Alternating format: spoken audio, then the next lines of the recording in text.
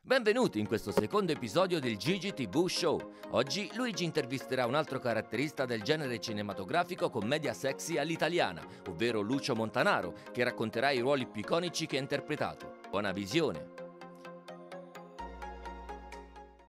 Benvenuti al secondo episodio del Gigi TV Show e come secondo episodio ho un grandissimo ospite con me, un'icona e grazie di essere il mio ospite, Lucio Montanaro. Ma io ringrazio voi con, veramente con un, un- cuore immenso, per l'amor di Dio, per così poco. Queste sono cose indubbiamente che gratificano la persona che viene interpellata.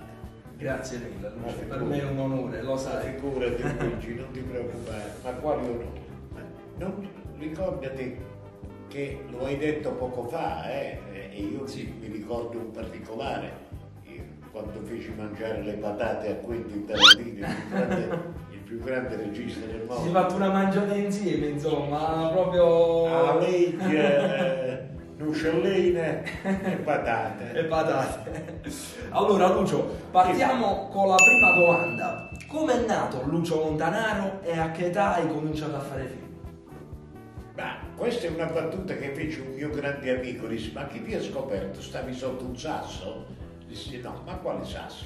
Niente. Allora, io sono di Martina Franca, una bellissima città, forse è una delle perle della Puglia. Beh, io non ci sono mai stato, però ci vorrei stare. Ti dico, se poi Sarai- mi, mi inviti come tuo Sarai ospite. sempre un gradito ospite. Grazie. Venne nel 1972, quando io finivo la maturità classica, venne a girare in Martina Franca Vittorio Caprioli.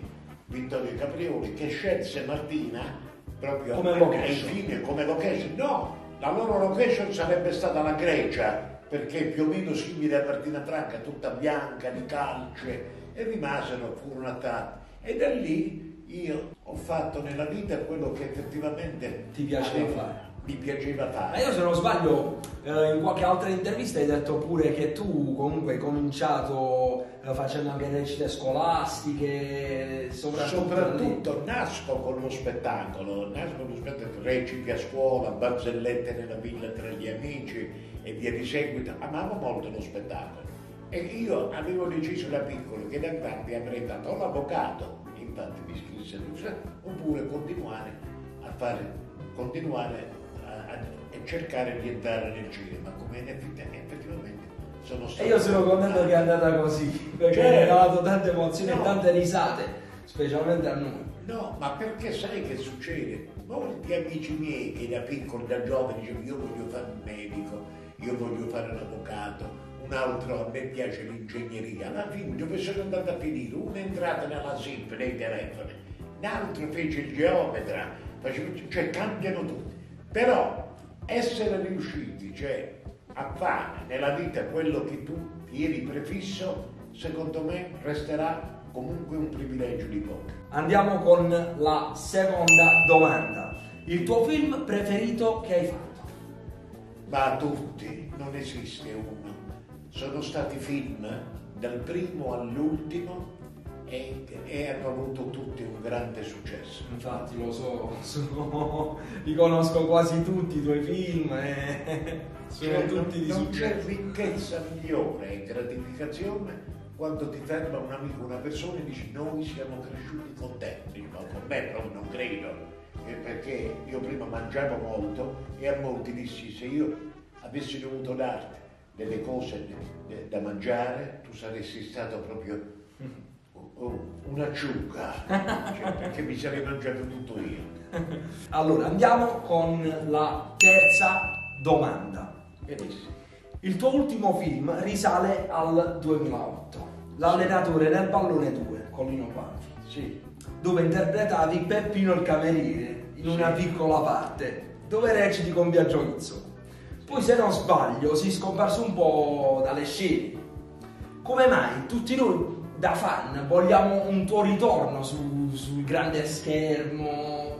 E parte sapere. mia c'è, no, a parte che farò delle fiction per la RAI Ma tu hai dimenticato un film mio che non è uscito, che non, non risale al 2008, ma risale al 2013. Davvero? 2013 14 che si chiama La Cornice, La Cornice. dove io sono protagonista insieme a Anna Maria Cucinotta, Maria Grazia Cucinotta e, e l'altra eravamo noi i protagonisti, girato in Marocco. In Marocco? Non Sì. lo sapevo questo, infatti si diceva su Wikipedia Ma non la, c'era... la cornice, te lo vai a trovare, sì. E l'altro, l'interprete maschile, era, era eh, un bravissimo attore che ha fatto anche una fiction sui carabinieri, Iris, ed era belloccio, era, mm, si chiama, fammi ricordare, oh, come si chiama? Oh, appena mi ricordo te lo dirò. Ok, va bene, però ricordalo. Lorenzo Flaherty. Lorenzo Fly. Noi tre, si chiama La Cornice, è un film che l'ultima volta che io ebbi il piacere di sentirmi con Maria Grazia Cucinotta, che chiamo la cuginetta, La cuginetta. sì, Maria Grazia Cucinotta, la cuginetta, che è stata diverse volte a Martina Franca, e dice, di questo film hanno perso le tracce, il produttore marocchino, e quando andammo lì, giusto, Luigi, ti voglio dire una cosa, per la quale nutro una particolare gratificazione, io ero, mi blindarono perché lì siamo, io, Banfi, Alvaro Vidal, siamo proprio popolari, le magliette nostre le vendono sulle, sulle carrette. Bellissimo. Eh no, non uscire, non uscire, che cazzo è venuto a fare? Eh beh, La, ma- vero. la mattina un caldo da morire, c'erano Cioè tu sei andato fino in Marocco, va. 50 gradi la mattina lì, 50 gradi, la sera un cappotto. Mamma mia. Sì, Eh sì, perché naturalmente là è tipo come il deserto, la mattina eh, fa, fa caldo, la sera fa un freddo enorme. Andiamo con la quarta domanda. Tu hai recitato con i migliori attori del genere commedia sexy all'italiana. E no, da Renzo Montagnani a Lino Banfi, da Mario Mero a Nino D'Angelo. Qual è l'attore che hai stretto un legame? Beh, con tutti, ho sempre avuto un legame, un legame con tutti. Cioè, secondo me, Luigino, nella vita, se ti comporti bene con tutti e hai il rispetto di tutti, il- questo rispetto ti viene corrisposto e non vieni mai dimenticato. Giusto, è Io una parola che porterò a vita questa. Io credo, io credo che siano delle parole molto, Molto molto precise. Sì. Io dico che tutti sono stati bravi. Per esempio, io ho avuto il piacere di conoscere Monica Vitti per una sola volta, ma mi aveva già inquadrata. E poi ho recitato nella presidentessa con una grande attrice, purtroppo scomparsa, che era Mariangela Velato. Mamma mia, Ariangela Velato, grandissima attrice che tutti ricordiamo anche che ha recitato con Giancarlo Giannini Certo. e ha fatto Travolti da un insolito destino nell'azzurro mare di agosto. Poi, un'altra cosa che ti voglio io segnare, Sì. Luigino, c'è sempre quell'attore presuntuoso che vuol dimostrare o vuol far dimostrare di essere superiore agli altri, che scavalca un poco, vuol primeggiare lui, cioè, lo troverai sempre nella vita. È una Esatto, questione- esatto. È una Una questione, questione di di- carattere. di carattere, esatto. È una questione di carattere, tanto alla fine chi vince sempre in tutte le situazioni è l'umiltà e la semplicità. La semplicità, giusto. Sono... Non ti facevo così poeta, ti dico la verità. Sì, ma- qui c'è Andiamo con la quinta domanda. Se dovresti tornare al grande schermo, in quale ruolo ti vedresti interpretare e con quale attore vorresti recitare in coppia? tutti. Tutti.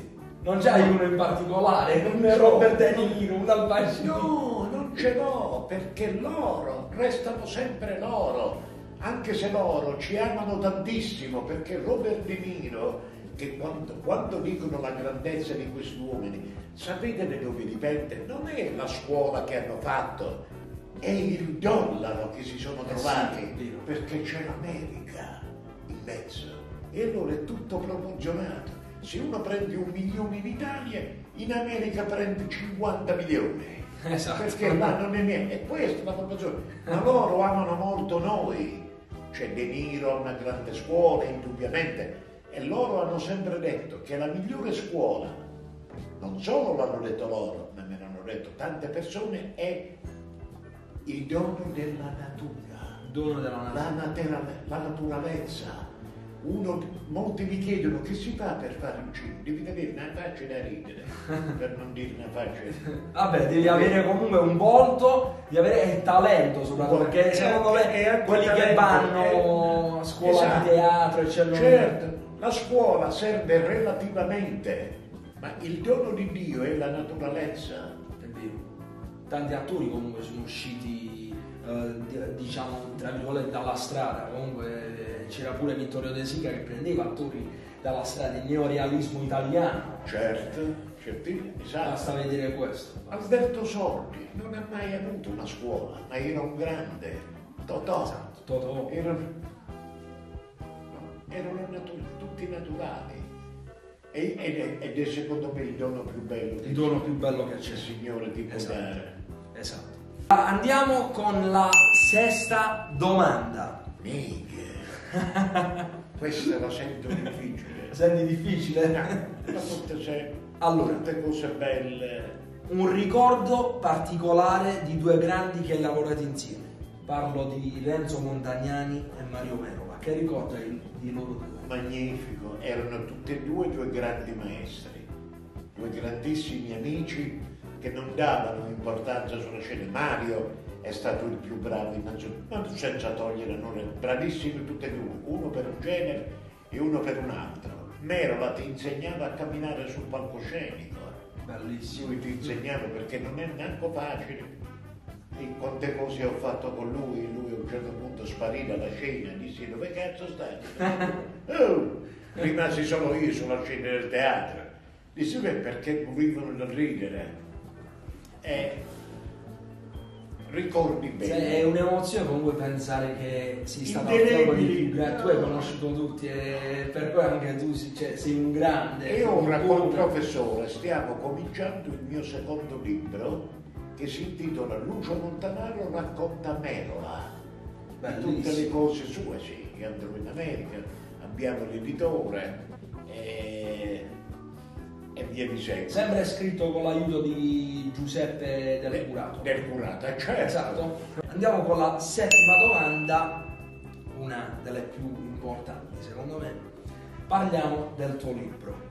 Da poco hai scritto un libro, Certo. la tua autobiografia scritta da Giuseppe Del Curatolo. certo. Che emozione hai provato a scrivere un libro sulla tua vita? Lo ritieni un grande traguardo?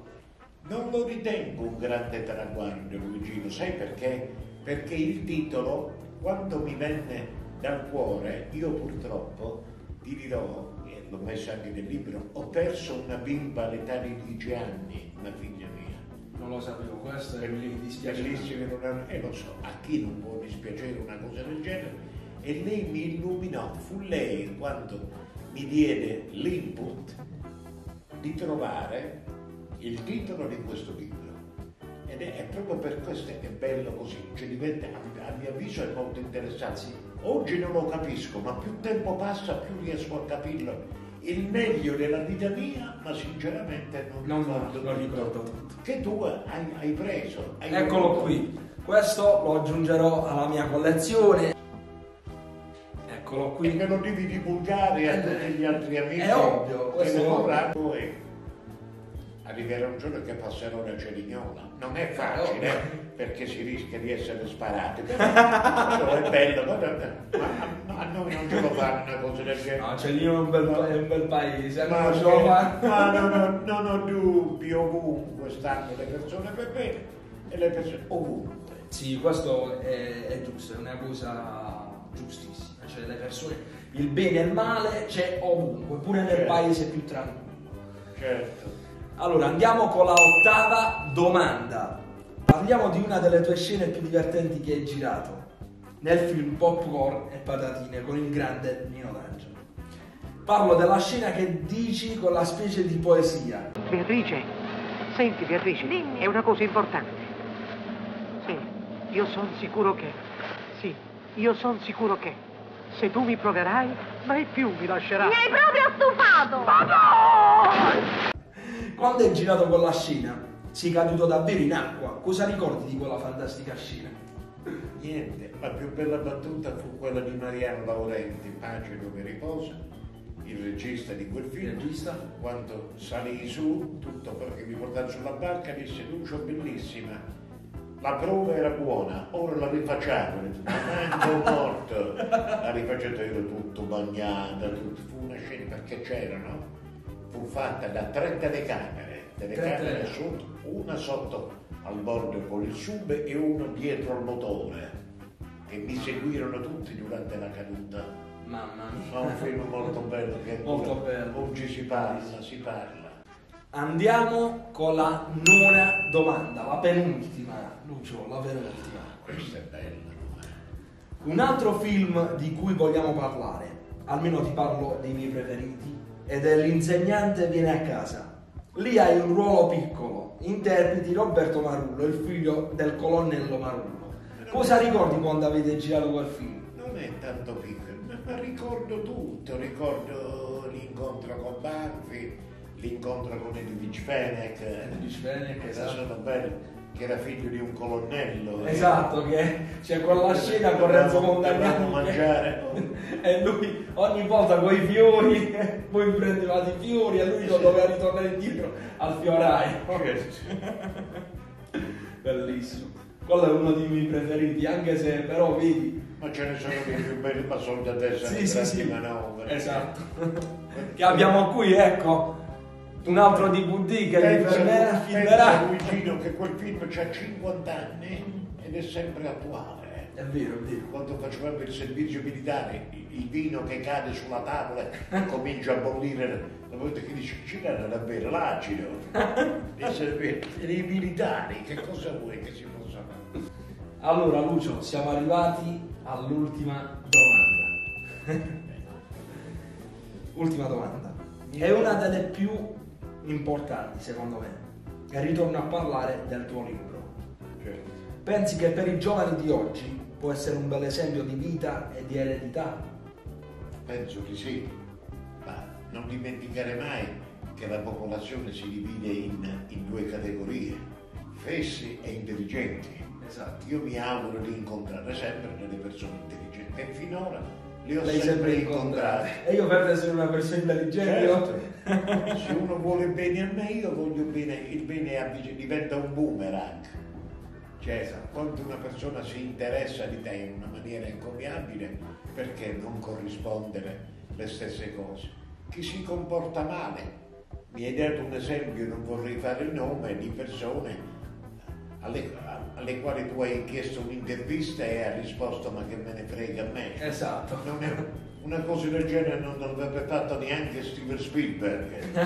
State tranquillo. Cioè, lì, lì Grazie. Vedi la pochezza del genere umano, che non è una malattia che io attribuisco a queste persone. Sono tanti malati in questa maniera.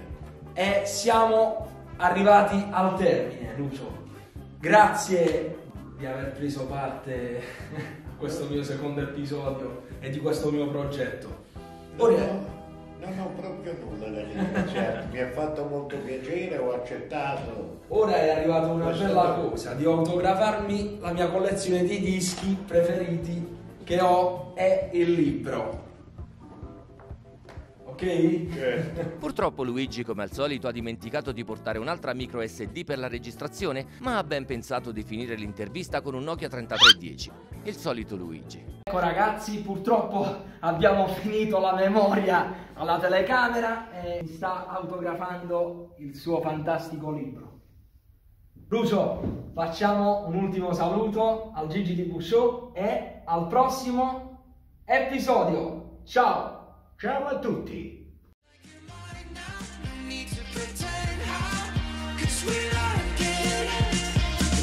felt like summertime, like summertime till you were gone. I fell in love, I fell in love with you. And now I